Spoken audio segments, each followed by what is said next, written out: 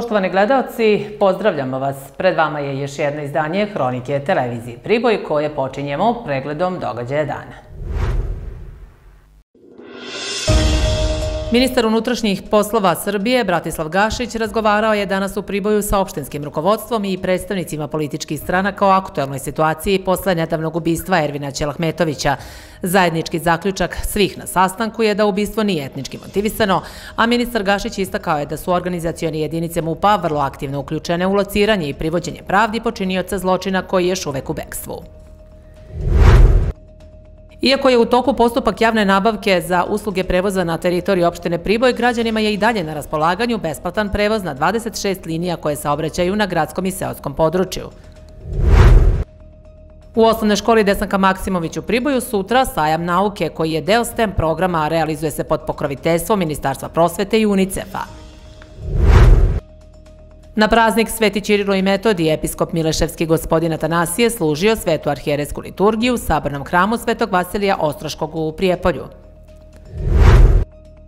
U četvrtak promenjive vremenske prilike toplo i nestabilno mestimično sa kišom i pljuskovima. Temperature najniže od 10 do 16, tokom dana najviše od 23 do 27 stepeniji.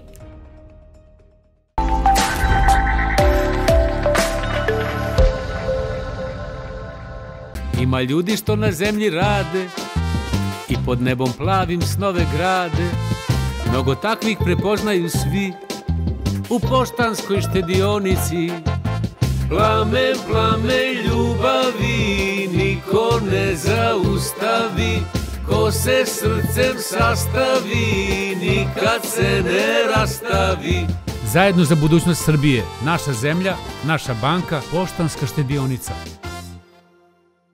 Najprestižnija i najglamuroznija sala za proslave u regionu, svečana sala hotela Terme 36.6 u Priboju. Za mladence gratis predsjednički apartman. Rezervacije 069 769 000. Neka vaša životna mašta postane stvarnost. Hotel Terme 36.6.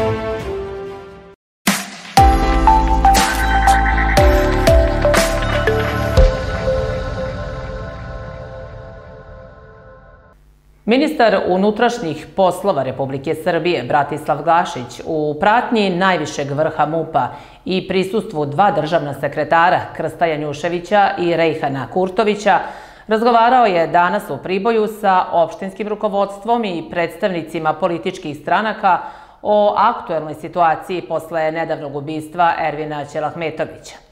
Zajednički zaključak svih koji su prisustvovali sastanku je da ubistvo nije etnički motivisano, a ministar Gašić istakao je da su organizacione jedinice MUPA vrlo aktivno uključene u lociranje i privođenje pravdi i počinioca zločina koji se još uvek nalazi u bekstvu. Ministar Gašić, koji je u Priboj došao u pratnji najvišeg vrha MUPA, nakon dužeg razgovora sa predstavnicima lokalne samouprave i predstavnicima političkih stranaka, istakao je da je zajednički zaključak svih da počinjeni zločin nije motivisan etničkom niti nacionalnom pripadnošću i izrazio žaljenje što je jedan mlad život okončan na takav način. Izrazivši razočaranje što je zločin počinio pripadnik MUPA, Gašić je naglasio da organizacione jedinice Ministarstva unutrašnjih poslova čine sve da se vinovnik koji je u bekstvu što pre privede pravdi i adekvatno kazni za zločin. Izvolite mi da pre nego što nadam izjavu izjavim najdublje saučeše porodici preminulog Ermina. U jednom vrlo teškom trenutku za Republiku Srbiju kada je naš, da kažem tako, senzibilitet na jednom višem nivou zbog svih nemilih događaja koje su zadesili u našu lepu zemlju u prethodnom periodu i ovaj događaj u Priboju je naravno doveo do uznemirenja javnosti.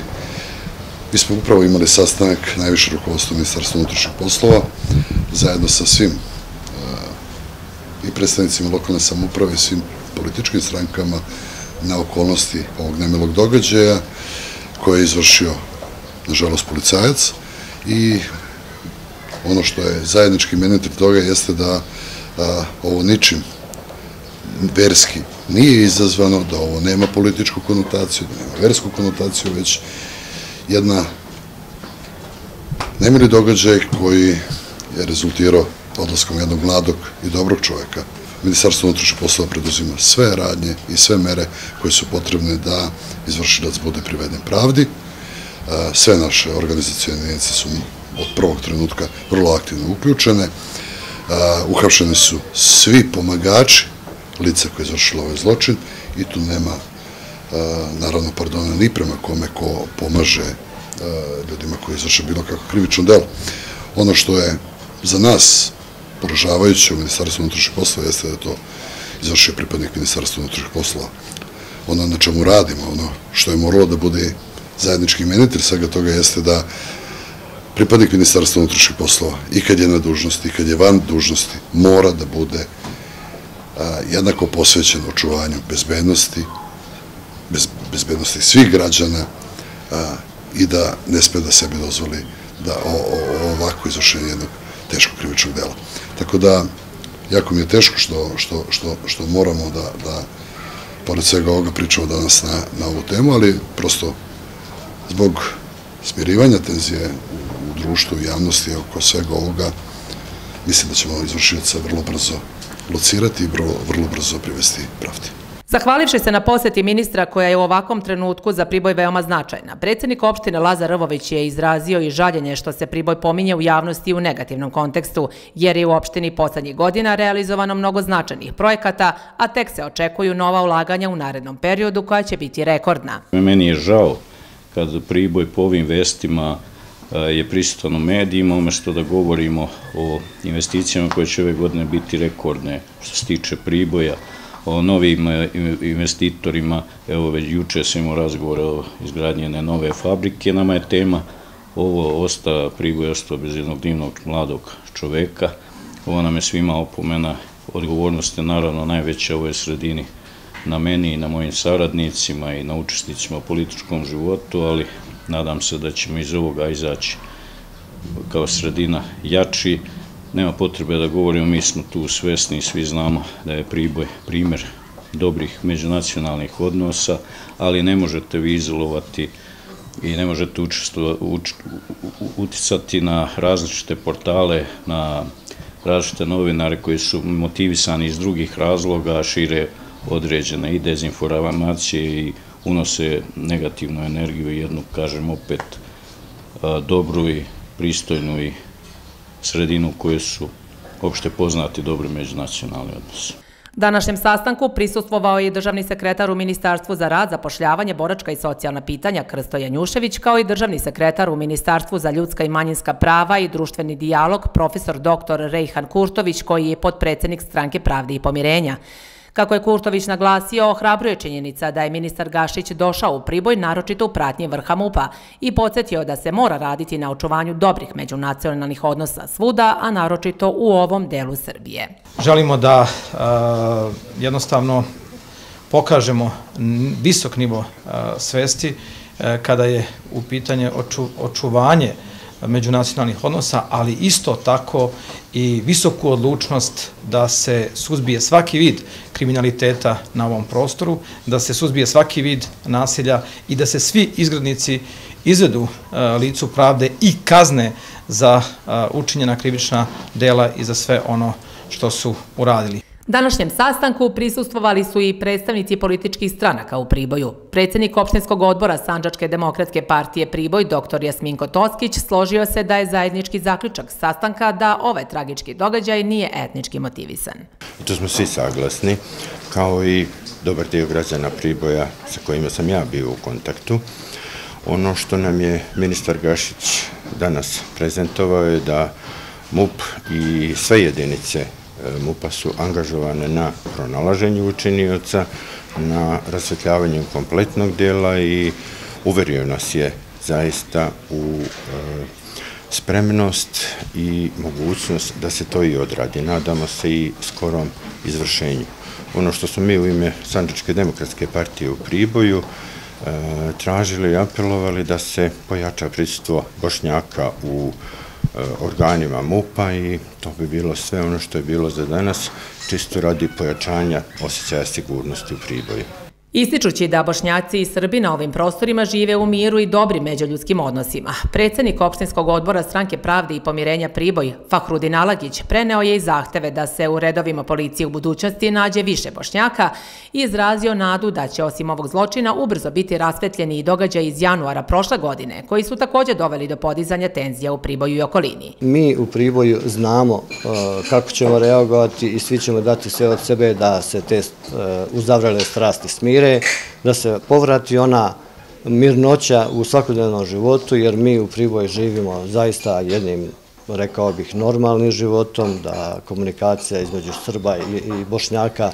mislim, e, teško mi je da ovo govorim, ali prosto jednostavno moram to da kažem, svi živimo normalno, komuniciramo svakodnevno, odnosi su više nego dobri i ovaj događaj ne smije takve stvari da poremeti. Naravno, e, rekao bih i to da smo od ministra policije tražili da e, više Bošnjaka bude prisutno u ministarstvu policije, očekujemo određene promjene, e, naravno dajemo podršku novopostavljenom načelniku policijske uprave u Prijepolju, očekujemo određene promjene i naravno ono e, bilo je riječi o onim nemilim događajima e, za prije godinu i po dana oko onih e, pesama. Uverili su nas da se to sve procesuira i da će to stati sve na svoje mjesto, da će policija dati sve o sebe da se to sve dovede do kraja i da svi oni koji su krivi budu procesuirani i kažnjeni. Prema poslednjim informacijama počinilac zločina u Priboju 28-godišnji Igor Avramović koji je proteklo vikenda usmrtio 35-godišnjeg Ervina Ćelakmetovića i dalje je u bekstvu i za njim se intenzivno traga. A Viši sud u Užicu odredio je pritvor do 30 dana MS, NG i MA iz Priboja zbog sumnje da su pomogli policajcu IA da pobegne nakon ubistva u Priboju. Pritvor im je određen 23. maja zbog sumnje da bi boravkom na slobodi mogli da utiču na svedoke, potvrđeno je Tanjugu u ovom sudu. Sumnjiče se za krivično delo pomoć učiniocu posle izvršenog krivičnog dela.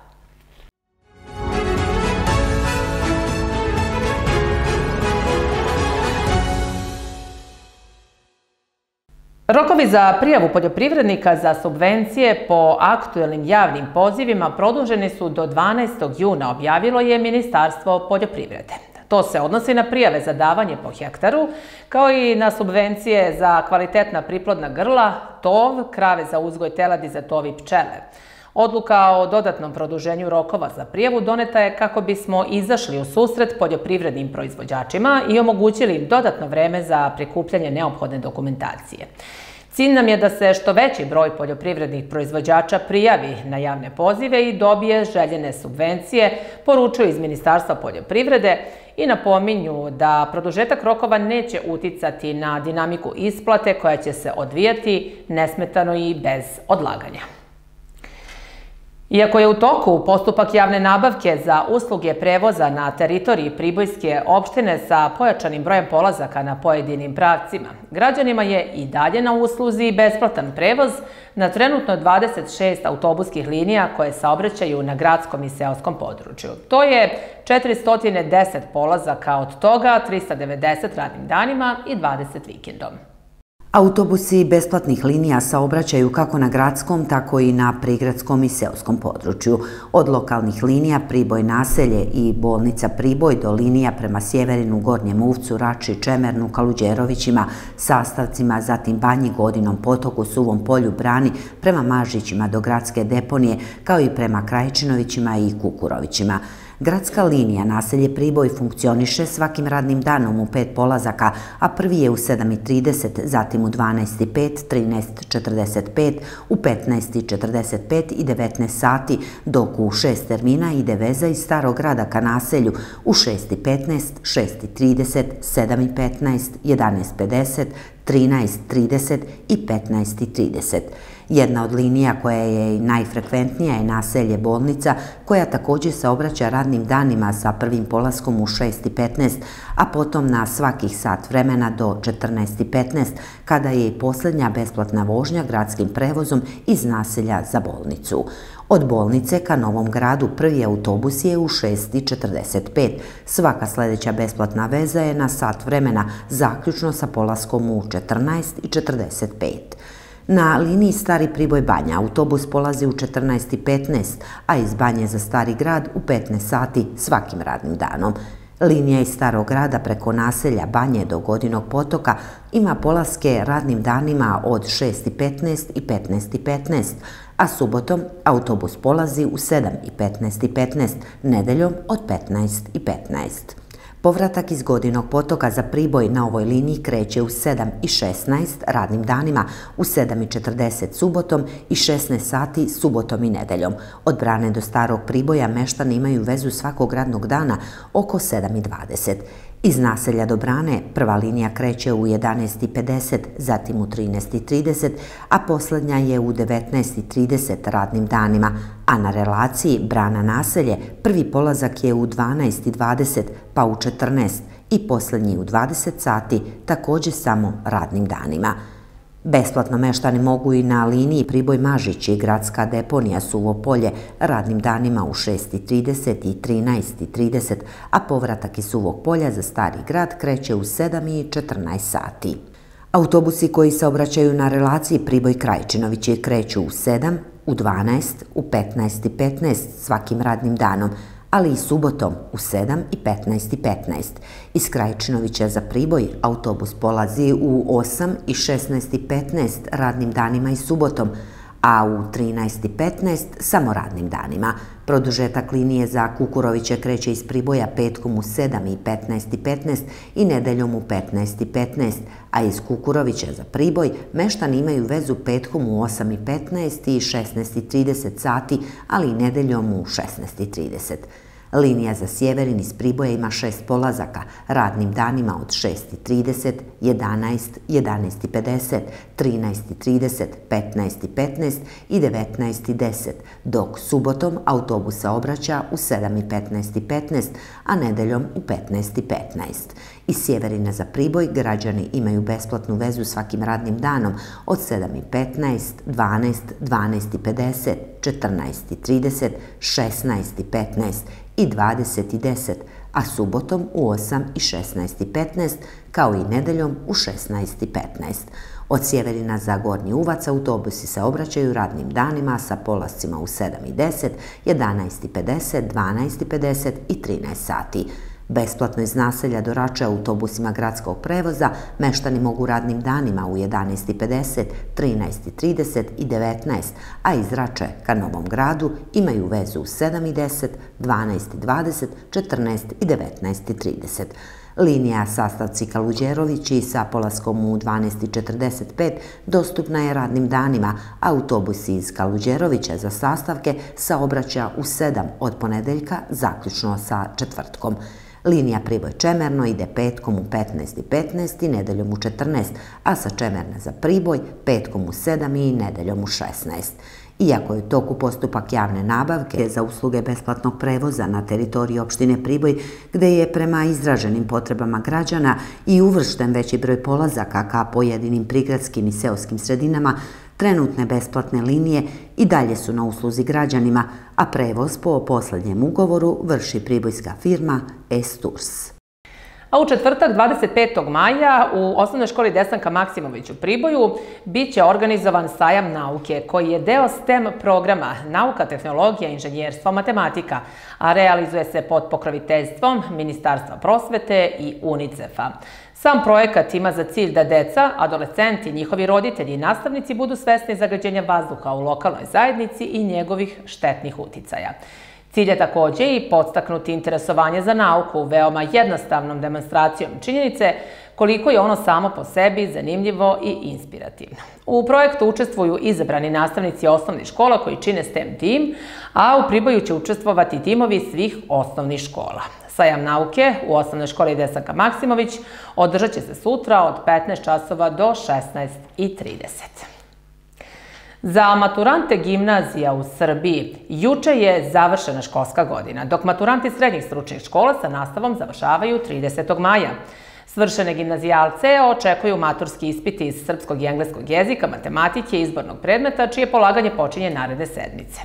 Maturanti Pribojske gimnazije proslavit će svoje matursko veče 2. juna. Prema školskom kalendaru za 2022-2023. godinu, za učenike prvog, drugog i trećeg razreda gimnazija i četvorogodišnjih srednjih škola, kao i prvog i drugog razreda trogodišnjih stručnih škola. Poslednji nastavni dan u ove godini je 20. jun, kada se raspuštaju učenici osnovnih škola od prvog do sedmog razreda, dok se učenici osmog razreda, odnosno mali maturanti, raspuštaju 6. juna. Predstojeća proba državne mature neće biti realizovana u punom obimu, kao što je prvobitno planirano u tri dana, već će se održati samo 31. maja, potvrđeno iz Ministarstva prosvete. Tada će se testirati učenici trećeg razreda gimnazije i četvorogodišnjih profila srednjih stručnih i umetničkih škola iz srpskog, odnosno maternjeg jezika i književnosti. Kako je stiglo dosta sugestija i primjedbi na nacrte izmena i dopuna prosvetnih zakona, predloženo je da uvođenje državne mature bude odloženo za dve godine. Srpska pravoslavna crkva i vernici danas slave uspomenu na Čirila i Metodija koji su zaslužni za širenje pismenosti među slovenskim narodima. Sutra je Spasovdan, jedan od najvećih hrišćanskih praznika. Srpska pravoslavna crkva i njeni vernici danas obeležavaju svete Čirila i Metodija, a ovaj dan je dan slovenske pismenosti i kulture. U crkvenom kalendaru obeležen je crvenim slovom.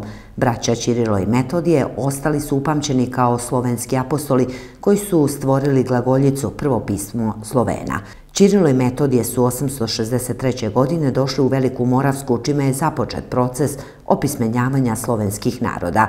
Prevodom liturgijskih i biblijskih knjiga Čirilo i Metodije postavili su temelje slovenske pismenosti. Bilo je to prvo političko osvešćivanje Slovena u istoriji. Kako običaj nalažu, danas ne bi trebalo obavljati kućne poslove, nego sve obaveze po kući ostaviti za drugi dan. Jedan od običaja tiče se i džaka i studenata, pa kaže da ako se danas posvete učenju, bit će vredni cele godine, odnosno i tokom naredne školske godine.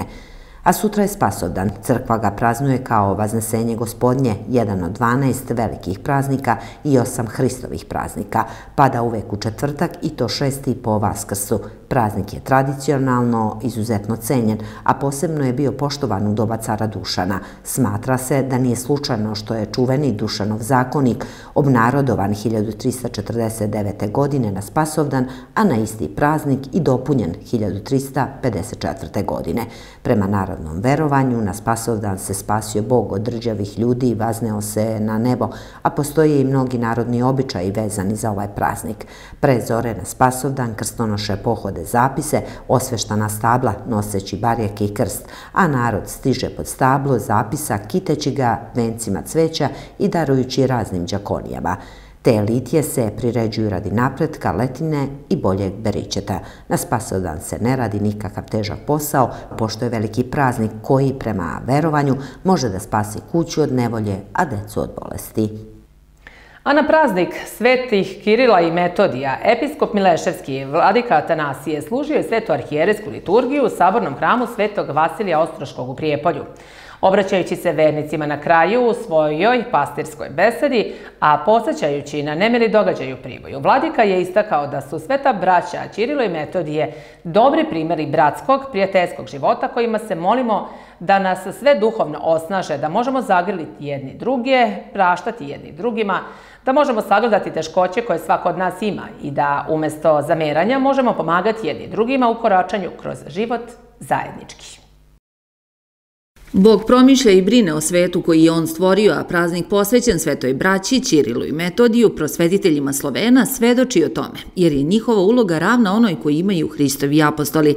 Ovaj svet se još koleba i potresa rušilačkim silama, pa zato gospod po svome promislu šalje svoje sluge s vremena na vreme da ga umiri, istakao je episkop Atanasije obraćajući se prisutnim vernicima. Ovim prostorima prohodili su sveti Kirilo i Metodije i božanskom naukom ovaj prostor osvetljavali i učvršćivali unosili mir među ljude, dobre odnose gradili, ali eto događa se kao što se smjenjuju dan i noć, tako se mogu smjenjivati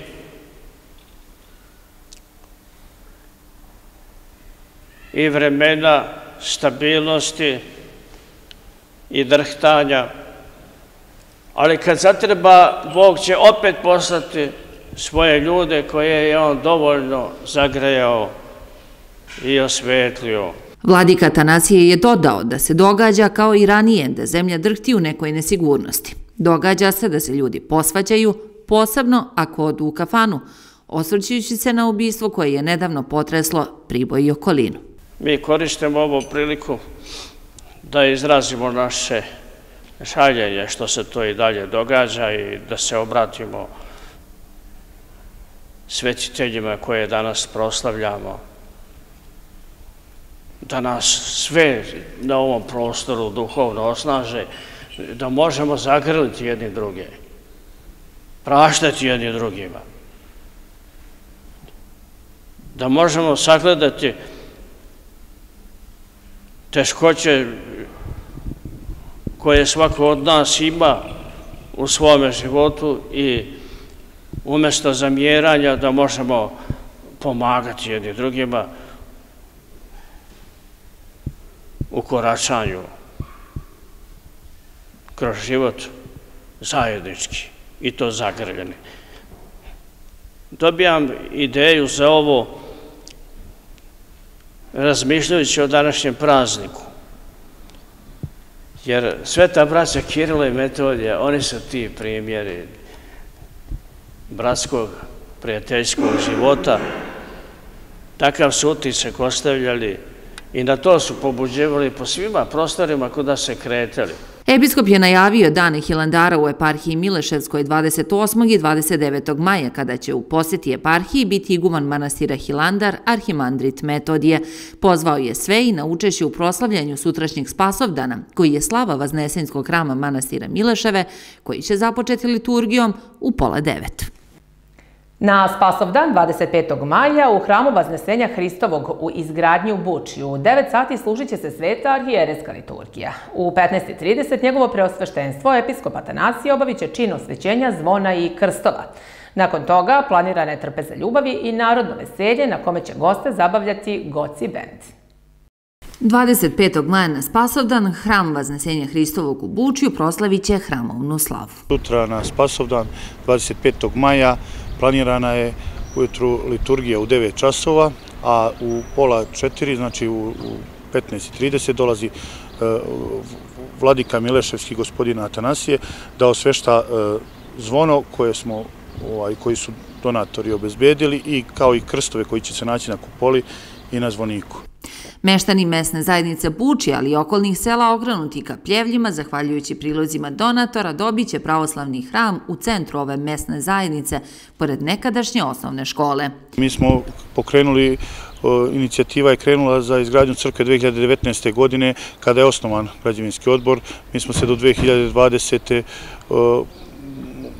organizovali da i kupili to zemljište gde je planirana crkva, tako da je 2020. godina kad su i izliveni temelji, 2021. su osveštani ti temelji, krenula je sa gradnjom crkva, znači dve godine gradimo 2021. i 2022.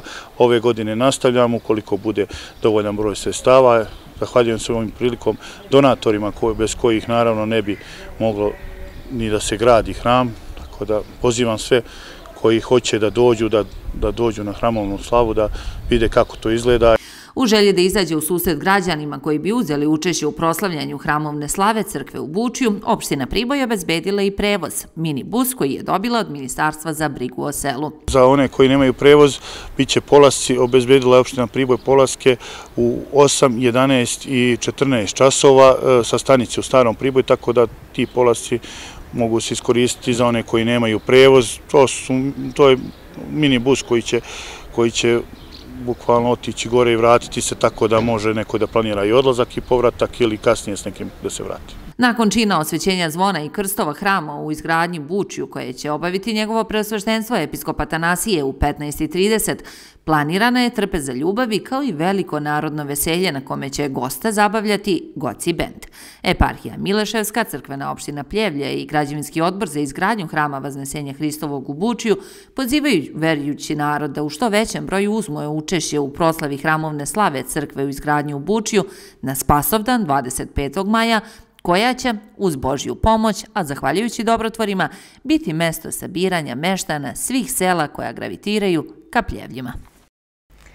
A na Velikom brdu iznad Nove Varoši 25. maja slavit će se Dan mladosti. Proslava će početi u 17 sati podizanjem na jarbo trobojke sa petokrakom i intoniranjem himne nekadašnje Jugoslavije, Hej Sloveni. Kao i prethodnih godina bit će organizovana izložba vojnih vozila iz drugog svetskog rata i vozila korišćenih u jedinicama bivše Jugoslovenske narodne armije, dok su u nastavku manifestacija E, planirani ručak i druženje uz muziku i nezaobilazni vojnički pasulj. Dan mladosti se na Velikom brdu proslavlja od 2015. godine. Koliko se zna, na ovaj način se slavi još jedino ovde, pa je svoj dolazak najavio i veliki broj jugonostalgičara iz zapadne Srbije. Organizator manifestacije je All the Timer klub istorijskih vozila i stvari, nostalgičara bivše Socialističke federativne republike Jugoslavije i Jugoslovenske narodne armije iz Nove Varoši.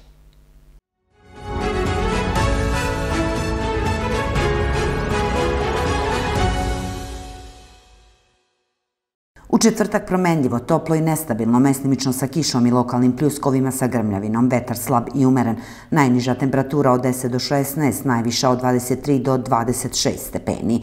U petak također nestabilno, uz toplo vreme, povremeno će padati kiša ili lokalni pljuskovi, dnevna temperatura od 22 do 25 stepeni. I u subotu slično vreme, toplo, ali uz periode sa kišom i pljuskovima praćenih grmljavinom. Vetar slabi umeren, severni i severozapadni. Jutarnja temperatura u subotu od 11 do 15, u toku dana od 22 do 25 stepeni. Prate nas i dalje nestabilne vremenske prilike. Malo sunca, malo kiše, gotovo da smo na to već i navikli u iščekivanju pravog leta i stabilnih vremenskih prilika. Pogledajmo još jednom pregled događaja dana. Ministar unutrašnjih poslova Srbije, Bratislav Gašić, razgovarao je danas u Priboju sa opštinskim rukovodstvom i predstavnicima političkih stranaka o aktuelnoj situaciji posle nedavnog ubistva Ervina Ćelahmetovića. Zajednički zaključak svih na sastanku je da ubistvo nije etnički motivisano, a ministar Gašić istakao je da su organizacijone jedinice MUPA vrlo aktivno uključene u lociranje i privođenje pravdi počinioca zločina koji je još uvek u bekstvu. Iako je u toku postupak javne nabavke za usluge prevoza na teritoriji opštine Priboj, građanima je i dalje na raspolaganju besplatan prevoz na 26 linija koje se obraćaju na gradskom i seotskom području. U osnovne školi Desanka Maksimović u Priboju sutra sajam nauke koji je deo STEM programa realizuje se pod pokroviteljstvom Ministarstva prosvete i UNICEF-a. Na praznik Sveti Čirilo i Metodi episkop Mileševski gospodin Atanasije služio svetu arhijeresku liturgiju u sabrnom hramu Svetog Vasilija Ostroškog u Prijepolju. U četvrtak promenjive vremenske prilike toplo i nestabilno mestimično sa kišom i pljuskovima. Temperature najniže od 10 do 16, tokom dana najviše od 23 do 27 stepeni. Ukoliko ste nas eh, pažljivo pratili, poštovani gledalci, vidjeli ste da je dan za nama bio pun događaja, a sasvim sam sigurni da će i sutrašnji dan biti eh, dan sa zanimljivim događanjima koje ćemo svakako pratiti i zabeležiti za vas i informisati vas u sutrašnjem izdanju naših informativnih emisija. Do tada, hvala vam na pažnji i ostanite uz TV Priboj. Prijetno!